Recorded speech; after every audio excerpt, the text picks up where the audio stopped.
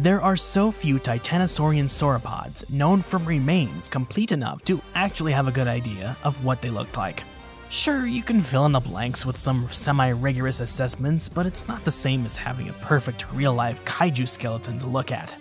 Dino National Monument has spoiled many of us in the US, though, as most long-necked dinosaurs are just scraps from the least interesting but most informational parts of their bodies. Another scrappy critter was just described from the historical tourist town of Morella. Let's meet Garumbatitan.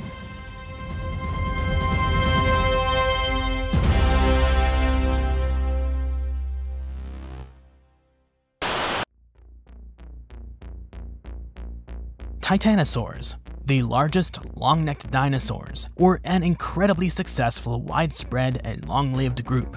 They began to diverge from the other sauropod dinosaurs during the late Jurassic, going extinct with all the other dino-era critters with the spicy space rock. Their early evolution is a bit of a mystery, as every single new one seems to show that their evolution wasn't a simple stepwise pattern, but had swirling branches that branched into more branches, with plenty of unique groups diverging to take advantage of all sorts of different niches worldwide. Titanosaur is a generic term most often used to refer to members of the scientific bin called Titanosauria. However, over the years, new groups and arrangements have shifted these animals into new positions. The broadest category containing all the heavy-set short-skulled sauropods is the Macronaria.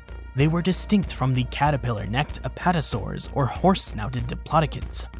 Back in the day, this group was characterized by its more complete and charismatic Jurassic examples, Camarasaurus and Brachiosaurus. They now occupy their own groups with a handful or more of their closest relatives alongside, base of or within the group Titanosauriformes, and so I refer to them all as titanosaurs, colloquially of course. Unfortunately, most sauropod dinosaur remains are extremely fragmentary. These animals were so large that only freak environmental conditions or events could cover their carcasses fast enough to halt the decay process and begin fossilization. So, paleontologists are often left with bits and pieces of the original animal, However, because these critters were so large, those chunks tend to be quite large as well. Thanks to the way these animals evolved, many bones throughout their skeleton contain traits that help paleontologists tell them apart from every single other known sauropod to both A. determine that what they have is a new animal, and B. determine the evolutionary relationships between the new animal and all the other sauropods. September of 2023 saw the publication of a paper in the Zoological Journal of the Linnean Society by Pedro Mocho, Fernando Escaso, Jose Gasulla, Angel Galobart, Begoña Poza, Andres Santos Cubedo, Jose Sanz, and Francisco Ortega describing the remains of a new titanosaur from the early Cretaceous of Spain, which provides new data for the early evolution of the group.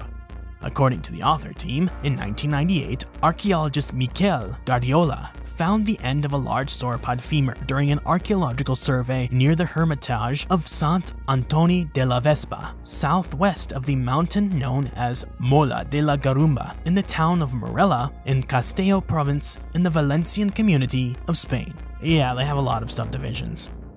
First fieldwork in the locality was carried out in 2005 and resulted in discovery of a pair of titanosaur carcasses that weren't super torn apart. The remains of the two specimens were deposited on top of each other, probably at two different times. The two complete hind limbs, as well as the ribs and some elements of the forelimbs, were removed from the overlying specimen. From the largest specimen, stratigraphically below, a complete hind limb and part of the other, as well as a set of articulated tail vertebrae, were removed. In 2008, a second paleontological campaign was conducted, extending the area excavated in 2005 to the east and west. Two main areas of interest were identified during this campaign, Immediately east of the bones found in 2005, the remains of an incomplete and eroded hip chunk were recovered, as well as a series of articulated back vertebrae and a possible neck vertebra, along with corresponding ribs. These remains are in continuity and compatible with the largest specimen identified in 2005. Also, in continuity with the 2005 operation, two series of tail vertebrae were found to the west. The series slightly above corresponds to a series of middle to back tail vertebrae, whereas the series below represents a series of articulated middle tail vertebrae with their chevrons. there is no criterion to indicate that both series belong to one and the same individual, but their sizes are compatible with the largest specimen.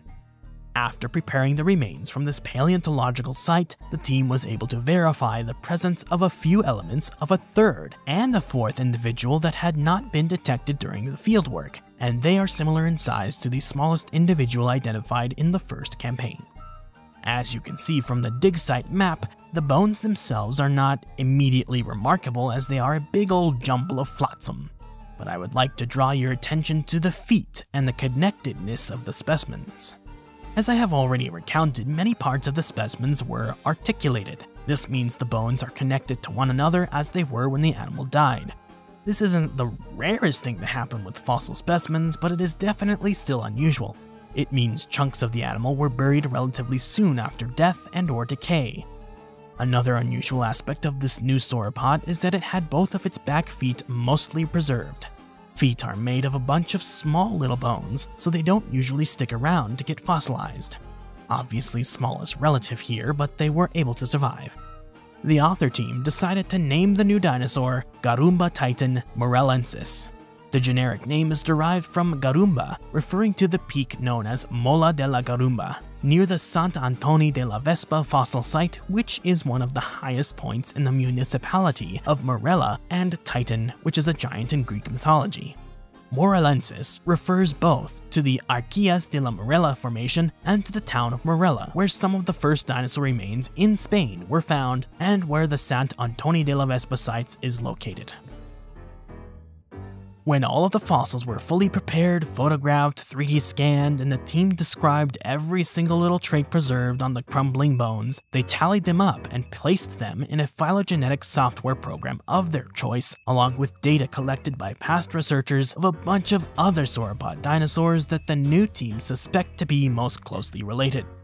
With all that data, the software plopped out two analyses with slightly different placements of old Garumbatitan. The first one places the beast in a polytomy with early Cretaceous Spanish Tastavinsaurus and Europatitan, plus some late Jurassic Brachiosaurids.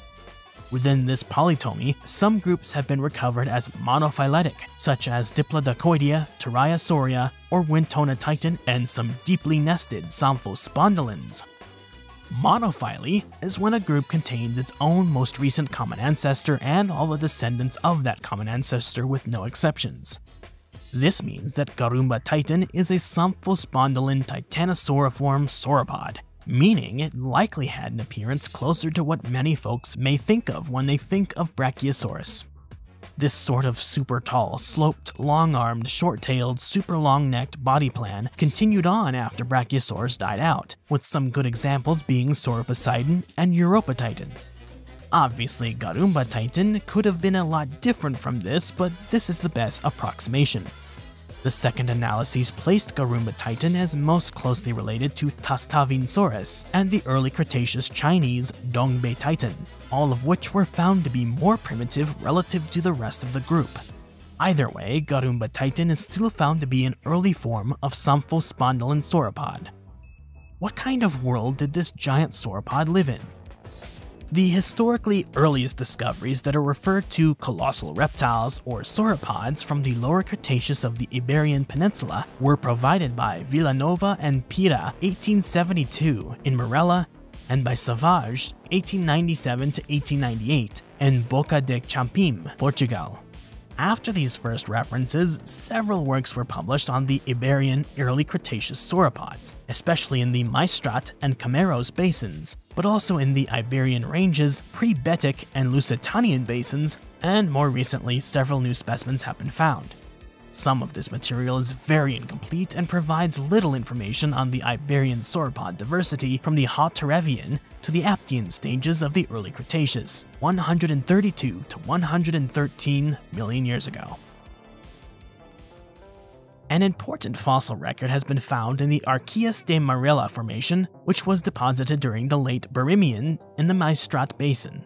The presence of titanosauriforms in this formation, with some specimens thought to be related to Brachiosauridae and others to Titanosauria, provided detailed study for several specimens collected in the Arcillas de Morella formation around the Morella locality and belonging to the historical collection of the Museo Nacional de Ciencias Naturales in Madrid. This led to a higher sauropod diversity hypothesized in this formation, with three possible different titanosauriforms, a possible laurasiform, and two Somphospondylans. Another informative sauropod specimen from this formation is a possible brachiosaurid collected at El Cantarat and described in 1982. Recent work has found that this specimen may be more closely related to the Somphospondylan sauropods rather than brachiosaurids. The work that came up with this redesignation therefore found no presence of diplodocoids, brachiosaurids, and titanosaurs in the Arcillas de Morella formation as previously proposed by other authors. The formation that held Garumbatitan also produced the styracosternan ornithopods Morellodon, Iguanodon bernissartensis, and Mantellisaurus, as well as the spinosaurid theropods Vallibonavenatrix and Protathlitis. Other dinosaurs were likely around at the time but remain elusive. The authors lump other fauna from a formation of the same time as Garumbatitan, but from a slightly different area west from the dig site. The Rebbachisaurus Demandasaurus and Somphospondylan Europa Titan, as well as the Brachiosaurid Soriatitan, may have shared this region with Garumbatitan there were likely all sorts of smaller animals, like crocs, snakes, lizards, amphibians, with two known turtle taxa, Brodiechelys royoi and Eodortoka, and even an unnamed leptocleidid plesiosaur. These results reveal a complex phylogenetic mosaic for the sauropod fauna of the Iberian Peninsula during the early Cretaceous, composed of forms with northern hemisphere affinities, your titanosauriforms, and southern hemisphere affinities like your Rebbachisaurids. However, the systematics of many sauropod occurrences from the lower Cretaceous of Europe is uncertain, and some of them are represented by significantly incomplete specimens, a diverse faunal composition has been proposed, including turiasaurs, rebbachisaurids, brachiosaurids, and non-titanosaurian and titanosaurian somphospondylans. What more will be found next in Iberia? For more interesting stories about nature, the history of life, or what goes bump in the night, subscribe, like this video, drop a comment in the comment section below, and hit the bell icon to stay in the know with everything Edge. Thanks for watching.